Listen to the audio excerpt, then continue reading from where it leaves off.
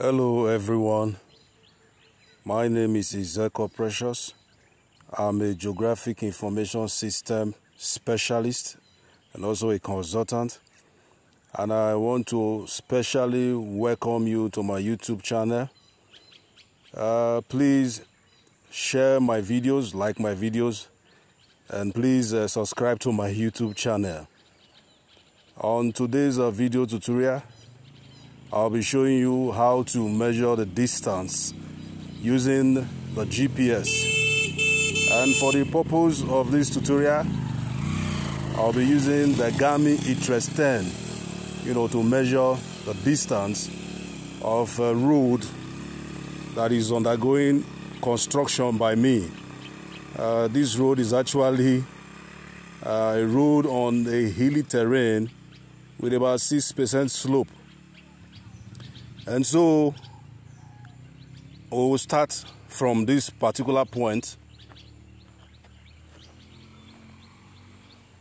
Uh, you go to, you switch on your GPS and you go to your track manager. That's track manager. And then you enter current track. Then there is something that is very, very important that you must do at this point. Uh, you know, you already have some, you may have some tracks in your GPS already.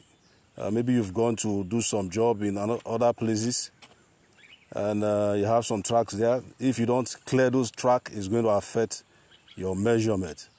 So you, you can do it in two ways. One is to first of all save your track if you need it.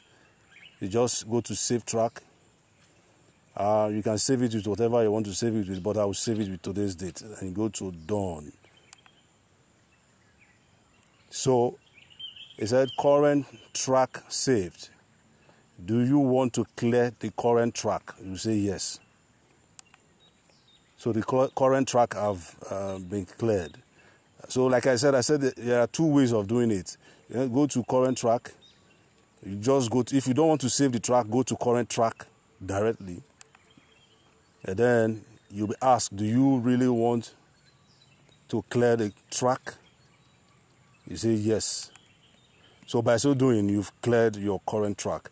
Now we are ready to do our measurement. From this point, um, we just take uh, this road is almost one kilometer, but uh, for demonstration purpose, we'll just do uh, part of the road. So go to current track, go to view map. Now you can see for yourself that the distance is zero meters. So we'll begin the measurement of the road.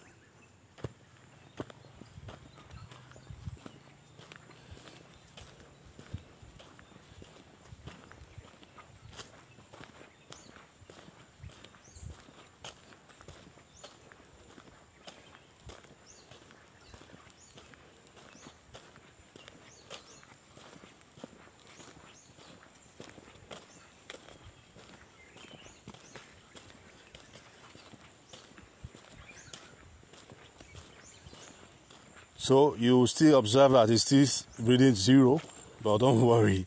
By the time we get to the end of the measurement or the place that we want to stop the measurement, we simply go back just one step and then go to view map again. Then you will see the measured distance displayed. Okay? So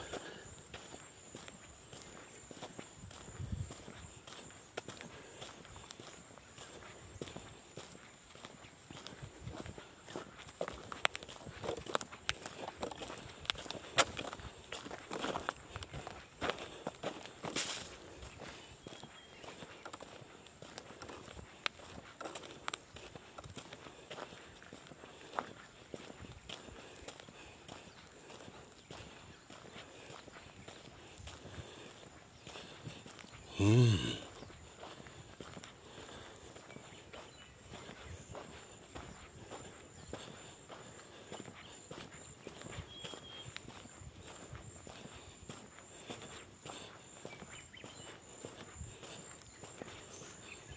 please let me use this opportunity to plead with you once more. Please subscribe to my YouTube channel, you know, to encourage me to do more videos. And as you do, God bless you.